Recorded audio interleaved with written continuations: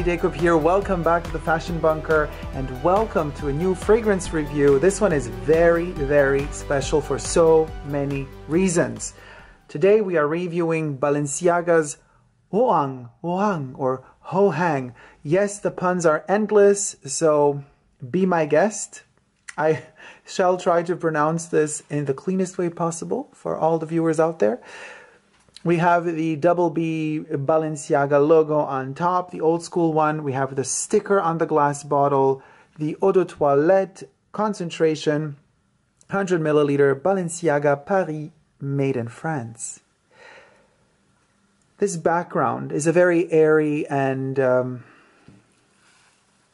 cottony, beautiful, almost countryside with its very clean pattern uh, texture structure. Um, I wanted a hue of beige and brown to go with this more red brown just to, even though this fragrance has darker hues of red and brown in it, there's a side to it that is also light in brown, almost bordering to beige. And also because it's about fading, fading of colors, fading and blending of genders as well. This fragrance was released in 1971. And so this is, well, uh, for, you know, now today is 2019. This is many, many years after the release. I'm not even sure, to be honest with you, if this fragrance still exists. I have purchased my bottle um, nine years ago, back in 2010. But this one was already in a perfumery that uh, kind of deals with older fragrances. So this one was at least five years old or even more, so I cannot really tell you how old this one is. I can tell you, however, that it smells delicious. Now, why is it so important? Let's spray it on first. There you go. Hmm. Hmm. Aldehydes and 70s chemicals. I'm loving it. And somebody who has really smelled 70s perfumes can know what this exactly means. It is divine. Oh. oh my gosh, it's so intense. We're talking intensity pre-reformulation era. That we're talking fragrances that had that delivered a punch. Mind you, 1971. Uh, you know, everybody was drinking all over the place, smoking all over the place. So there was a lot of smells in the air. So perfumes needed to counter that. But guess what is so groundbreaking about this one? Well, what is so groundbreaking and why I love this one so, so, so much is because it is one of the first fragrances in that 70s era, or in general, you could say one of the first fragrances that pushed the genderless agenda. Yes, Hoang was the first fragrance of its kind to be promoted in France for her and for him all the advertisement campaigns would state that this fragrance was for the lady and for the gentleman, for both of them. And most of the ad campaigns were um, either a man leaning on a woman, woman leaning on a man, either she's naked, he's naked, they're semi-dressed. It, it was a, there was a fluidity. It's a genderless fragrance. It's a fragrance for both. However, in 1971, also going into 1972. By the way, this fragrance, like no other to me, smells of the 70s. It's incredibly reminiscent of the 70s. It's, it's a perfect time travel machine to the 70s. Um, not all of the world was ready for such a gender revolution. So in fact, if you see the vintage advertisement campaigns in Italy, very conservative country, 1971 in particular, also 1972, when I think this one was launched a bit later, um, it's as if they, whoever decided to distribute it in Italy, joked extremely harshly uh, with the fact that this is a male fragrance. Now, I don't know if Balenciaga was forced with their ad campaign to classify this as a male fragrance rather than a unisex, but the ad campaigns literally, um, I'll see if I can blend in a photo of uh, of the of the ad campaign. But what is so funny in in particular in one of these ad campaigns, they state they basically list the concentrations available, or actually the sizes available of the fragrance. And as they list that, so I'm reading here from um, on the side. I have the, the image. It says Hohang eau de toilette molto maschile, which means a very male. Then they have Hohang deodorant, and then they again write underneath that very male. Then they state Hohang savon de toilette, so the toilet soap or the bath soap. And under that again they reiterate molto maschile, very male. And then the funny thing, and this is where I understood, oh, okay, maybe Balenciaga, maybe they were forced to classify this fragrance as male rather than genderless in Italy. So to make fun of it, on the fourth slot where they are advertising for their aftershave, they write Hohang, aftershave. And then in parentheses, obviously. They just wrote obviously without writing that it's uh, very male. So um, then, on top of that, uh, the text explains Hohang, l'aroma esotico dei legni d'Oriente, un profumo, come definirlo? Molto maschile. So it says the exotic aroma of oriental woods, a perfume. How to define it? Very male. I mean, it's a joke. It's obviously a joke, and it's pushing boundaries in a way in a country that was still so close minded back then. France was ahead of its time. I believe France is still ahead of its time when it comes to couture, at least, and hence, you know, also my opinions on uh, Italian uh, couturiers taking over haute couture uh, fashion houses of France. Example, Dior at the moment with Maria Grazia Chiuri, or what Riccardo Tisci did to damage Givenchy in the past. But thank God he's out of that house. So, you can start criticizing it if you want. I really don't care. Let's get into the top notes of Hohang. Uh, we got lemon, bergamot, basil, lavender, and orange. Then we got the middle notes. We have the geranium. And here's a little twist. Now we're going to see in the mid notes something that usually lands in the base notes, but it's so emphasized in the mid notes, and that would be the Brazilian rosewood as well as cedar as well as patchouli. And all of those three are rounded up in a balmy clove. That's so delicious, the clove. We're going to get to the clove in a minute. Base notes see benzoin, musk, amber, vanilla, tonka bean, and labdanum. Now, the clove is an ingredient nowadays quite rare in in mass released fragrances. Here, I'm smelling it. It um in the mid notes, it delivers a, a punch not to the nose, but rather to all of the more metallic citrusy notes that open the fragrance in a very 70s way, almost like aldehyde type of 70s way, a citrusy tone together with a very metallic lavender, a fragrance would kind of open itself up to the world. That, that's a, a classic early 70s way of formulating.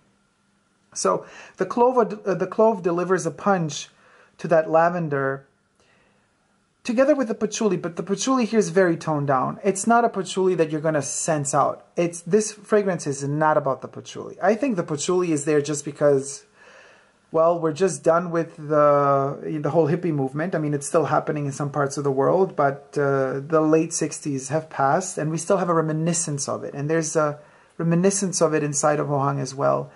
But 1971 is more the time of specificity, less chaos and more definition within design. So that's why we're seeing the rise of designers such as Werner Panton, who in already in the late 60s, but especially in the early 70s, defined an entire generation of, um, of style.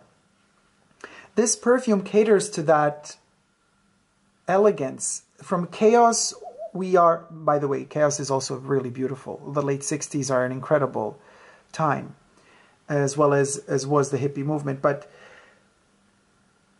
it's as if the early 70s start bringing into shape the past. And fragrances also seem to be analytical of that. Hohang has learned from the past, has learned from the 60s movements, the, the freedom movement, and it's telling us, okay, I have learned, Balenciaga, the brand, has learned, and we are now delivering a unisex fragrance. We are cutting that boundary. Marketing wise, we are deleting that boundary. We are now free. Anybody's free to use this fragrance. And boy, is it interesting to smell this one on female skin and on male skin.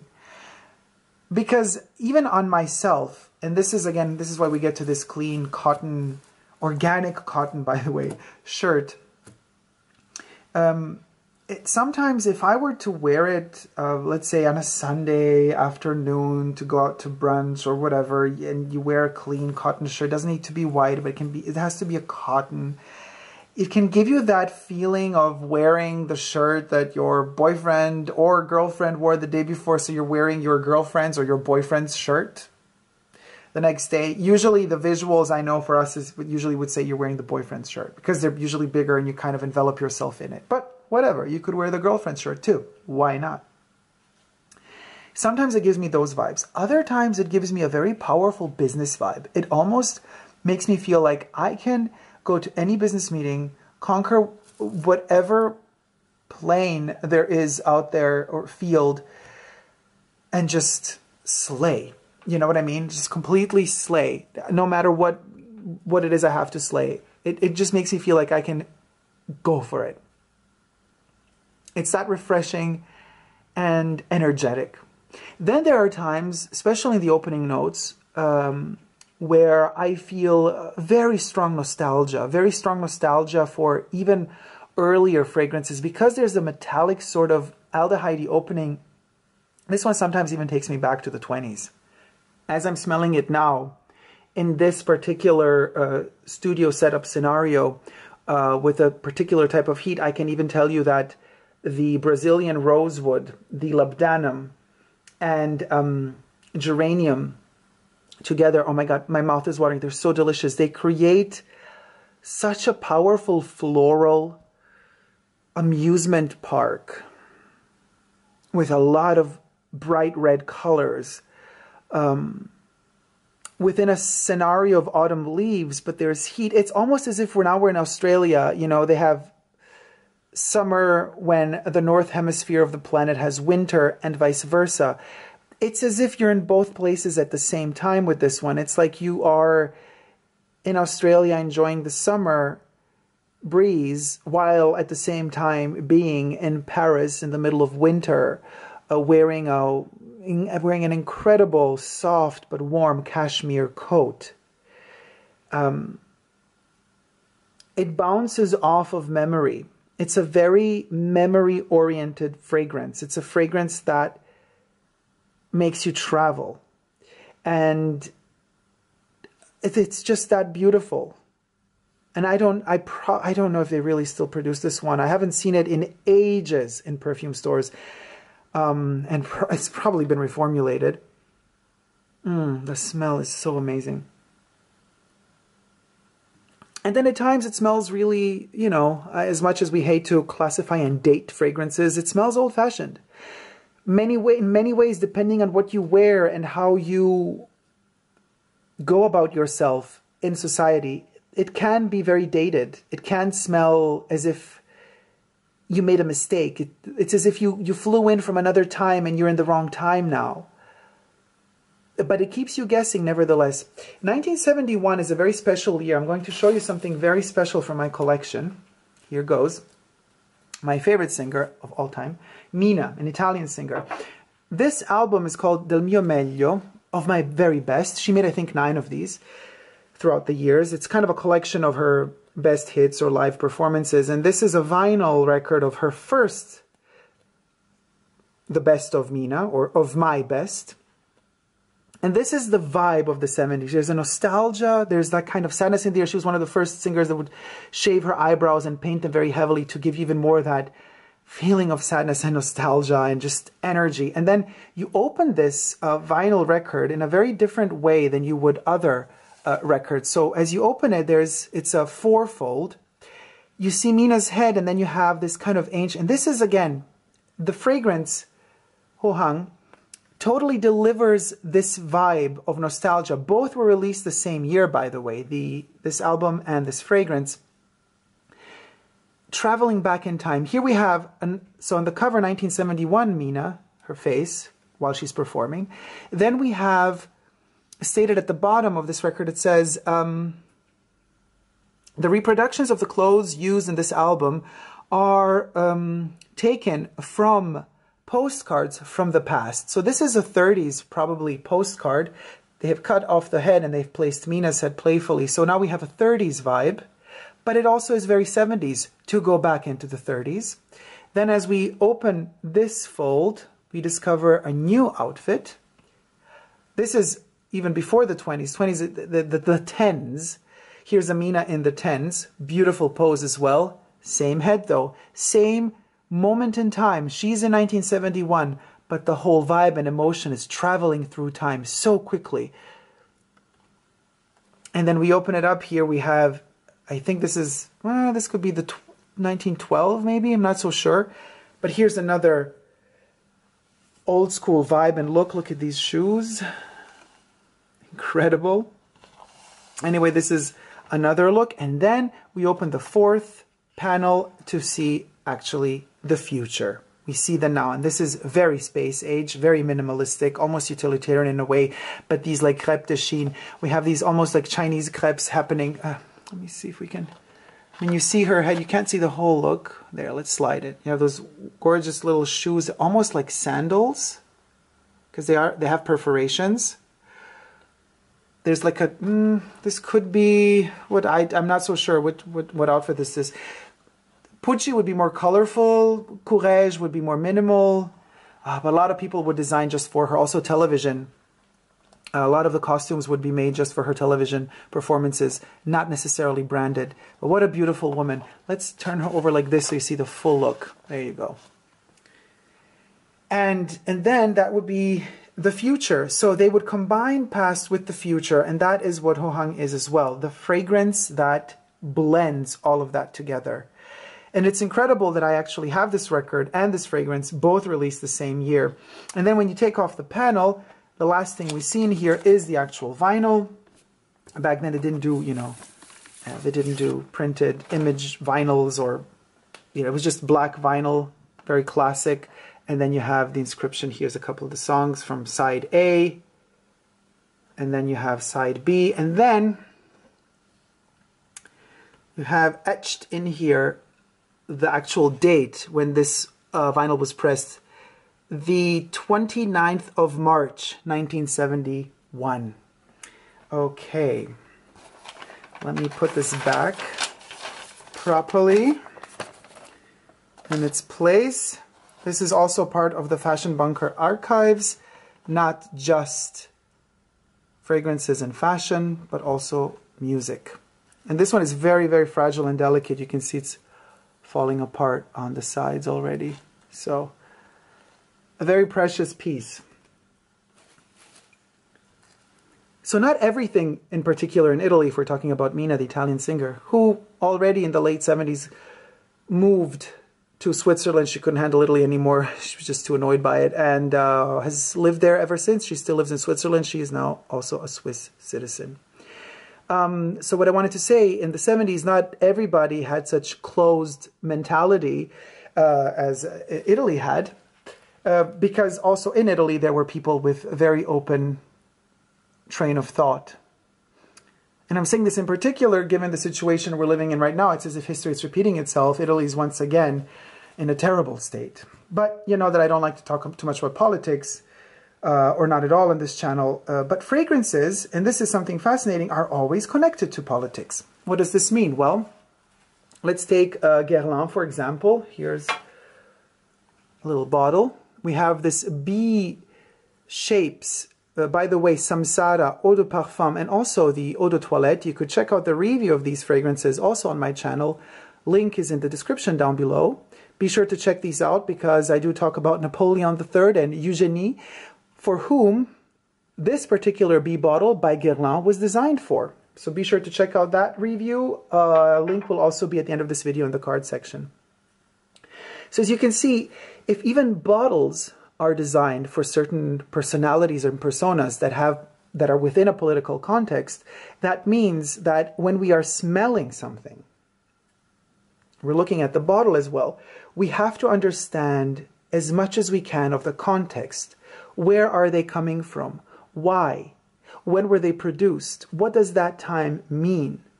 If we really want to understand the smell, or we could just limit ourselves to the mere and pure smelling of something on our skin and saying whether or not we like it passively without understanding anything about where these fragrances are coming from in terms of context, idea, and production, because a lot of time does go into creating a fragrance.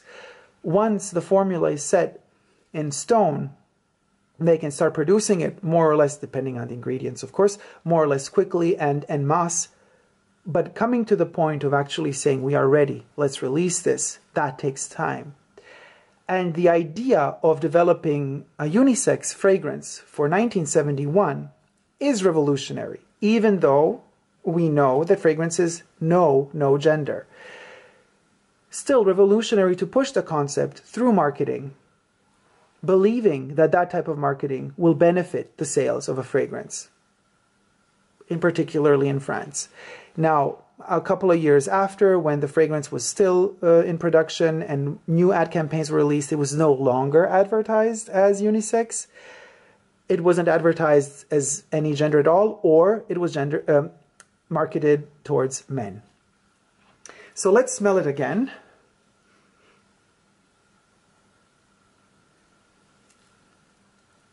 It has the intense rose punch the geranium and the clove, the lavender, the labdanum, the amber, hint of vanilla, they're all there. And they're so masterfully playing with each other. None of them defines the other more or less. They keep very, in a very wise way, you know, it's very grown, very mature way, very evolved way. In a very evolved way, they keep giving each other the space.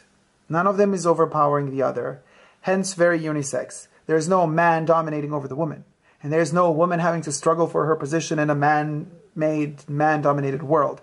All the ingredients harmonize. The blend is just that good. Now, today you would probably utilize more of the synthetics and more modern day synthetics, so there would be less of that metallic touch like a dusty heft, dusty, heavy, powdery touch. There would be less of that today. This fragrance would be more doughy, would be more like a Play-Doh type of feel. Like a lot of, most of the fragrances that I've smelled in my experience that are reformulated from 60s, 70s releases uh, to today, they, also 80s, 90s in some cases, today's reformulations have a Play-Dohy note to them. Biggest example is Hypnotic Poison. The Eau de Toilette has a Play-Dohy feel that the original 90s version didn't have. I'm sure this one would get that Play-Dohy feel as well because certain natural ingredients would not be usable anymore today uh, or the way that they would extract certain ingredients with chemicals and synthetics would just not be extracted the same way today there will be a different process. So it is very time specific. And in that respect, I say that it delivers an early age of perfumer of modern day perfumery. I mean, early 70s. It smells like a 70s fragrance. What can I tell you? It's not that timeless, but it is timeless if you analyze it within the context of what came after, all the way through to today. This one is timeless because it still owns its own place. It's still powerful in its own position. It becomes timeless because we need this as a reference point to understand further development in perfumery and smells. We need to know that this one existed. Best is even to know how this one smells or how it smelled because one day this one won't be available anymore either or might already be discontinued now. And it's just wonderful to see that people were already back then working on the concept of breaking those boundaries between genders, making it clear that fragrances are for everybody, uh, but not being afraid at the same time to give a fragrance character. CK1 was advertised as the biggest uh, unisex fragrance. And as good as it smelled in the 90s, it was a citrusy, simple concoction. It, it was, mm, it didn't have strength of character. It had a very defined character, but it wasn't as strong as Hohang is. Hohang is very, very strong. It's very, very powerful. I mean, the musk, the amber, the benzoin, the vanilla, the tonka bean, the labdanum. And this is just the base notes. Then we got the Brazilian rosewood, the cedarwood, the patchouli, the geranium, the clove, and this is in the mid note. This is, it's a lot. And you would think, oh my gosh, this is a mess. But no, all that dust settles down on that wooden floor that is centuries old. And we decide to put furniture in that on that wood inside that big old ancient room. And that furniture is maybe from Werner Panton and it is 70s for back then modern. Actually space age. 1971 is the epitome of space age. It already began in the 60s but its prime time was the 70s in fact because that's when the evolution arrived to a point where you could say space age is very defined by now, and then they could have moved on. And then slowly we went into all those other things. Like, for example, all of this enabled a little movie that nobody really knows called Star Wars. Happened late 70s. It was all a progression that led up to that point where the masses were ready for such a revolution, a vision of the future. In fact, this little jewel is also like a lightsaber.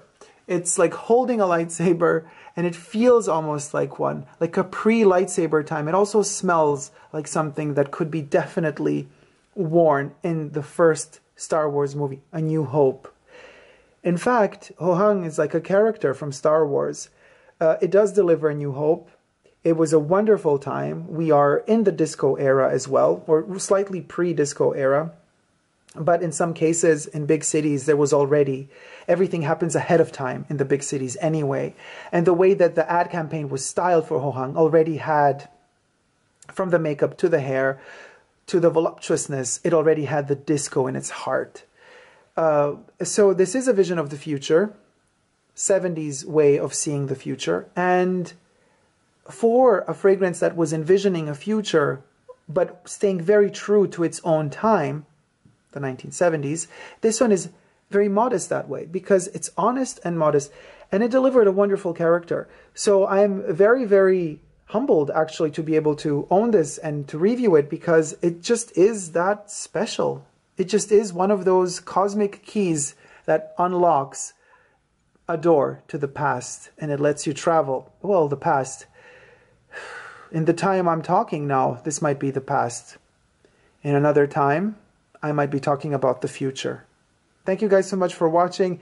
If you like this video, please do thumb it up and let me know what you think about the video and also about Ho Hohang in the uh, comment section down below.